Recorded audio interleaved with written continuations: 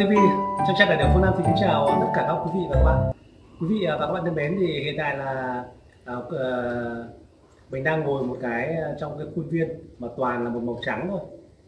Quý vị và các bạn và theo dõi thật kỹ, nếu những người mà có kinh nghiệm thì quý vị và các bạn cũng có thể biết được màu trắng này là màu trắng của cái gì. Màu trắng này là màu trắng của vôi các bạn nhé. Hôm nay mình sẽ làm một cái video chia sẻ cho quý vị và các bạn một cái quy trình kỹ thuật à, nó nằm trong cái quy trình kỹ thuật nuôi đà điểu cái quy trình này là hết sức quan trọng quy trình này là bắt buộc chúng ta sẽ phải thực hiện trước khi chúng ta là à, nhập nuôi đà điểu. Đó là quy trình sát trùng chuồng trại khu vực nuôi đà điểu của chúng ta. Ở đây thì à, các loại thuốc sát trùng ở trên thị trường có rất là nhiều.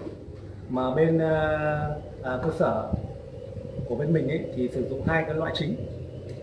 Một là cái à, của à, Medivet này. Hai là cái của Hanvet hai cái loại thuốc này là bên mình à, sử dụng thường xuyên trong cái quá trình à, hoạt động à, kinh doanh đại điểm của bên mình. Còn cái loại thuốc này là cái loại thuốc mà bên mình được à, bên à, thú y của xã là cấp cho bên mình. Thú y xã là bên mình cho bên mình cái thuốc này và bên mình cũng sử dụng à, thêm vào.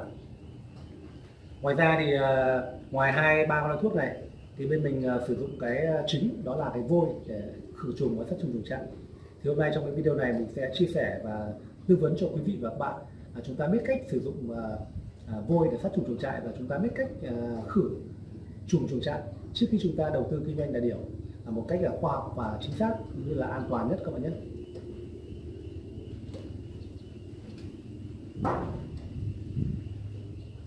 Ở đây thì à, về nếu mà chúng ta sử dụng thuốc ấy, thì mình tư vấn cho quý vị và các bạn à, biết chúng ta lên sử dụng các loại thuốc sát trùng gì à, chúng ta sẽ phải lên sử dụng các thuốc sát trùng mà sát trùng hoạt phổ rộng các bạn nhé. Hoạt phổ rộng là như nào?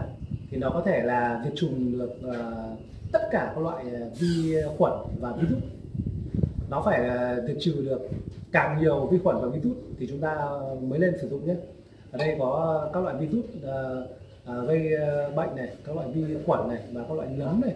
Thì uh, các cái thuốc sát trùng này nó phải đảm bảo là diệt được tất cả các loại à, virus vi khuẩn và nấm đó còn nếu mà thuốc sát trùng mà nó không có những cái uh, tiêu chí đó thì quý vị và các bạn không nên sử dụng nhé đấy là mình uh, tư vấn cho quý vị và các bạn biết cách chọn đúng loại thuốc mà chúng ta sử dụng để trong quá trình mà uh, sát trùng chuồng trại hay là khử trùng chuồng trại các bạn nhé Đối với vôi bột thì chúng ta sẽ sử dụng theo hai cách. Một là chúng ta sẽ rắc đều lên trên bề mặt ờ, của cái sàn nuôi nhốt đà điểu.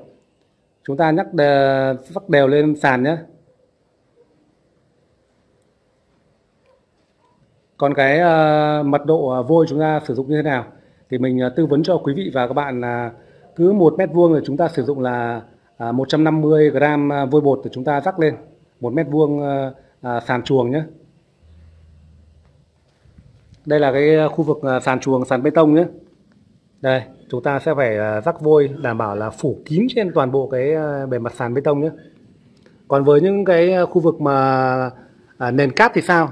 Nền cát thì chúng ta sẽ phải xử lý như nào? Đây. Với những cái à, khu vực mà nền cát thì chúng ta sẽ phải làm như nào? Đây. Đây là cái nền cát nhé bề mặt là à, vôi. Nền cát này thì chúng ta sẽ phải lấy à, cuốc này. Chúng ta sẽ cuốc lên. Chúng ta sẽ giải một lượt vôi lên trên nhé sau đó là chúng ta sẽ à, sới lên. Sới để cho cái vôi của chúng ta nó ngấm đều vào trong cái à, cát ấy. Sau đó là chúng ta lại san phẳng một lần như vậy khi san phẳng rồi thì chúng ta sẽ lại tiếp tục giải một lượt vôi lên trên. Thì như vậy mới là à, đúng quy trình và đúng khoa học các bạn nhé. Đó. Sau khi chúng ta rắc vôi ở cái khu vực nền chuồng rồi thì chúng ta sẽ sử dụng tiếp tục vôi để chúng ta hòa với nước, để chúng ta phun lên phun lên à, xung quanh toàn bộ cái à, tường, cái khu vực mà bao quanh cái ô nuôi đại điểu của chúng ta. Ở đây là quý vị và các bạn nhìn này, toàn là vôi nhé toàn là nước vôi và vôi bột bám trên cái bề mặt à, tường nuôi này.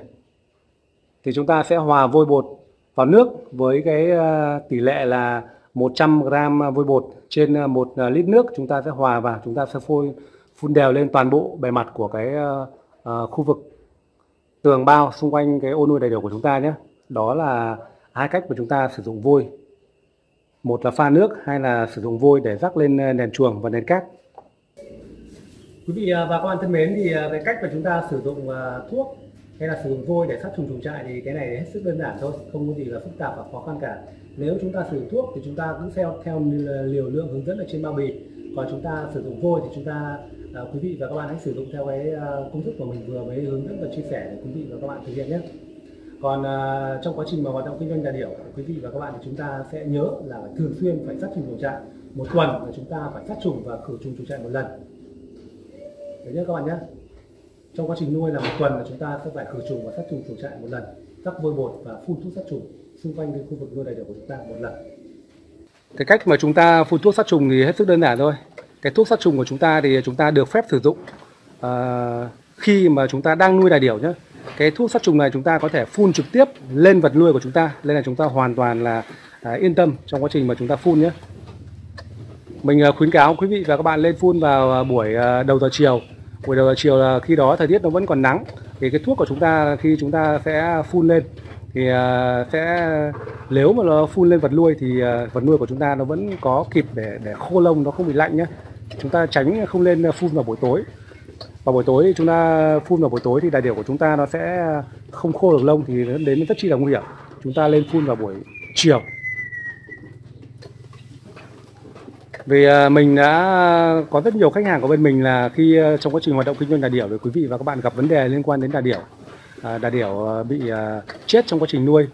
Mà mình hỏi bất kỳ cái vấn đề gì thì quý vị và các bạn cũng khẳng định với mình là quý vị và các bạn làm rất tốt. Nhưng mà cái điều quý vị và các bạn bảo làm rất tốt đấy thì chỉ quý vị và các bạn nói thôi. Mình không kiểm chứng, mình không thực, trực tiếp mình nhìn nhận và đánh giá nên là mình không thể khẳng định được nếu quý vị và các bạn mà làm đúng là quý vị và các bạn làm tốt ấy, thì quý vị và các bạn phải làm đầy đủ như mình hướng dẫn từ lúc mà phát trùng chuồng trại như thế nào và quá trình và, và quá trình mà quý vị và các bạn à, bắt đầu nhập đà điểu về quý vị và các bạn phải chăm sóc nuôi dưỡng như thế nào nếu quý vị và các bạn làm đúng như thế rồi thì quý vị và các bạn mới được phép nói là quý vị và làm tốt nhé còn nếu quý vị và các bạn mà chưa làm được những điều đó thì quý vị và các bạn à, hãy lên xem lại những video mà mình đã chia sẻ để quý vị và các bạn thực hiện cho đúng. Đây sau khi chúng ta phun sát trùng ờ, chuồng trại nhé thì đảm bảo là cái nền chuồng này và cái khu vực bao xung quanh thì nó đều ờ, bị ướt nhé. Thì như vậy là mới đảm bảo là à, thuốc này nó ngấm trên bề mặt con những con vi ờ, khuẩn và virus. Và nó mới có tác dụng là diệt được vi khuẩn virus nhé.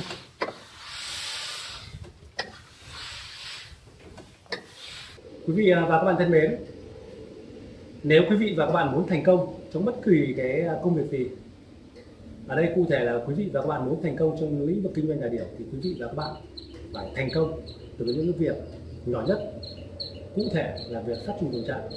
Phương nam TV chân gia đại biểu Phương Nam xin kính chúc tất cả các quý vị và các bạn hãy thực hiện thật tốt những cái điều mà mình vừa chia sẻ. Kính chúc tất cả các quý vị và các bạn à, trong quá trình hoạt động kinh doanh đà điểu của quý vị và các bạn sẽ không gặp bất kỳ những cái à, vướng mắc gì nếu quý vị và các bạn cần tư vấn gì thì xin hãy gọi điện trực tiếp tới trang đại đầu phương nam, hotline là 0912 60 611 đây mình sẽ trực tiếp tư vấn và à, hỗ trợ tất cả các quý vị và các bạn. Cái video này mình xin kết thúc ở đây. Xin à, chân thành cảm ơn tất cả các quý vị và các bạn đã theo dõi video. Xin kính chào, tạm biệt và hẹn gặp lại tất cả các quý vị và các bạn ở những video tiếp theo.